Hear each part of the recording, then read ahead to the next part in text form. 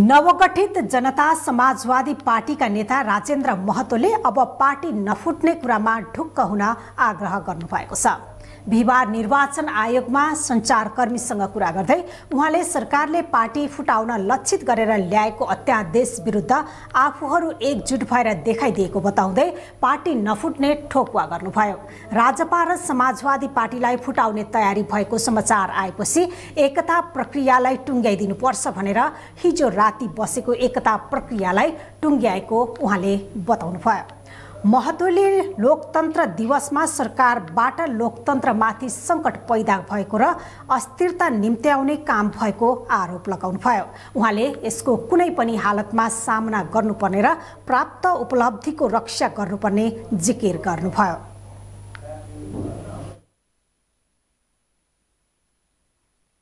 एकीकृत हुनुपर्छ त्यो विश्वासका साथ त्यो अवधारणाका साथ हामी एकन प्रक्रिया प्रारम्भ गरेका थियौँ। विगत एक वर्षदेखि यो प्रक्रिया प्रारम्भ थियो। विगतमा सरकार छोडेपछि मात्रै एउटा राष्ट्रिय शक्ति बनाउन सकिन्छ। हिमाल पहाड तराई मधेसको जनताको एउटा राष्ट्रिय आन्दोलनको परिकल्पना गर्न सकिन्छ। सरकारमा बसेर हुँदैन भनेर हामी भन्दै आएका थियौँ। र त्यसै आधारमा समाजवादी पार्टीलाई उपेन्द्रजी यादवलाई सरकार छोड्नुहोस् र हामी एकजुट हौँ भनेर भनेका थियौँ। सरकार छोड्न नि ढिलो भयो त्यसैले एकता प्रक्रिया पनि ढिलो भयो। त्यसपछि सरकार छोडिसकेपछि निर्वाचन आयो राष्ट्रिय सभाको निर्वाचनमा हामी लाग्यौँ एक महिना त्यसमै गयो।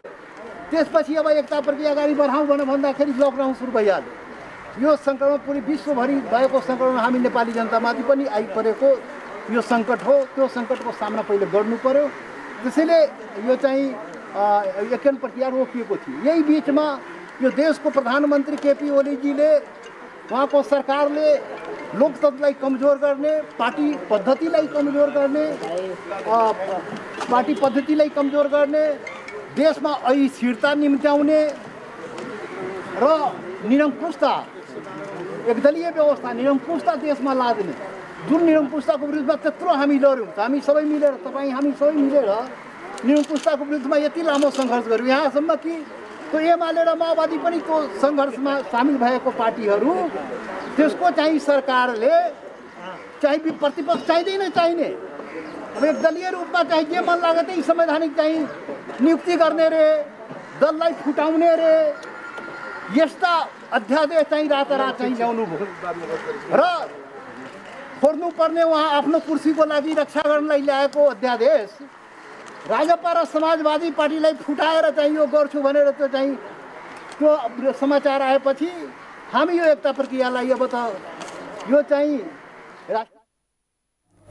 महतोले अहिले कोरोना भाइरसबाट जीवन रक्षा गर्ने काम प्राथमिकतामा परेकाले एकताको बाँकी काम पछि गर्नुपर्ने बताउनुभयो। समाजवादी र राजपा बीच सम्मानजनक एकता भएको उहाँको भनाइ छ।